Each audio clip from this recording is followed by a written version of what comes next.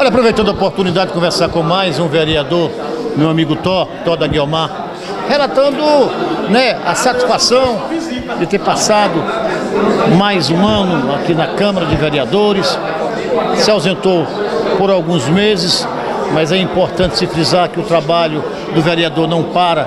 Para muita gente que acha que é só das quintas, né, se engana. O vereador trabalha no seu dia a dia, né, Tom? Bom dia. É, bom dia, bom dia Chico Neto, bom dia Lucier, bom dia Alex, bom dia seus ouvintes.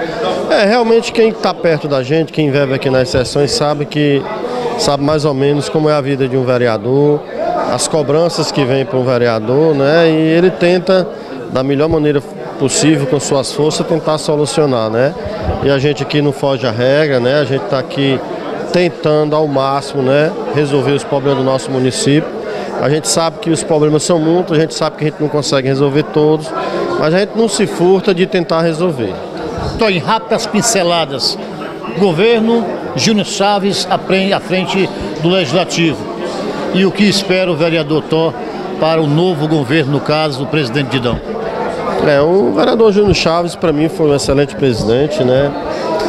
Um rapaz humilde, um rapaz decente, né? Que que preservou as amizades, né, não levou nada para o lado pessoal, né, em virtude das políticas, né. A gente não compartilhou com as, não compartilhou e não compartilha com as ideias do políticas do, do, do vereador e presidente Júnior Chaves, mas a gente respeita, né. E o que a gente diz do Juninho, que foi um excelente presidente, que respeitou a gente, a gente também o respeita.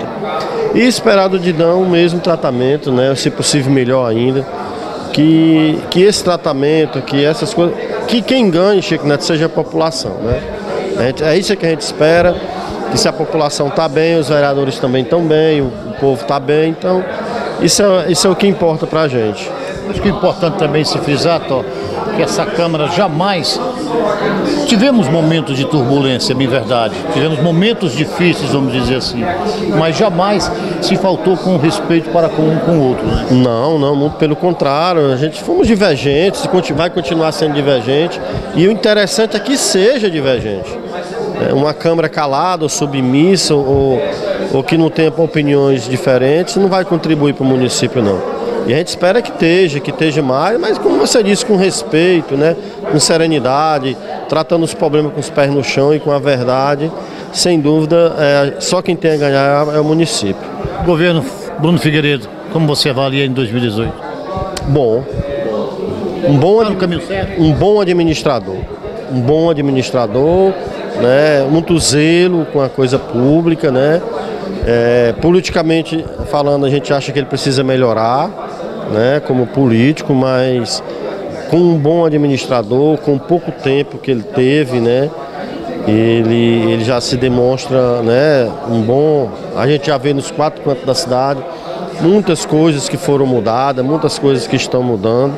Eu avalio como, como, como bom.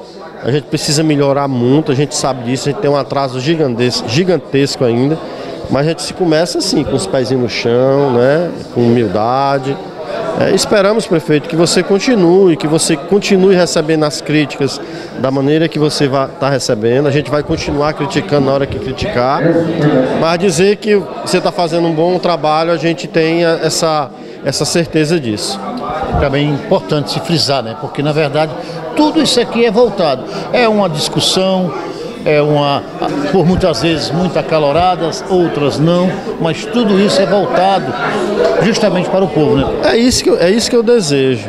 Às vezes você se discute politicamente com interesse próprio, mas quando você se discute para resolver o interesse da população, que vai gerar um benefício, que vai gerar uma qualidade de vida melhor, eu acho de fundamental importância. Então, eu vou continuar tentando fazer isso, eu vou criticar você, prefeito, todas as vezes que eu entender que o povo está sendo prejudicado, que a população está sendo prejudicada, eu vou criticar, isso aí você não tem nem dúvida, e você sabe disso, que eu já lhe falei isso. Eu não vou criticar com picuinha, com pessoa é, particular, com cor de política, mas o povo, prefeito, a gente tem que fazer isso, e a gente fazendo isso, a gente melhora os serviços. Feliz Natal, tua feliz ano novo. Feliz Natal, Chico Neto, Lucier, meu amigo Alex, né?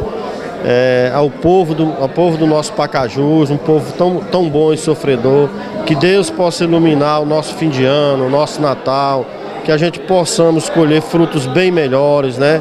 Que o Bruno continue acertando, que a Câmara continue reivindicando, que a Câmara também continue acertando, que a gente possa colher bons tempos no nosso município. Bom final de ano a todos e um bom Natal a todos.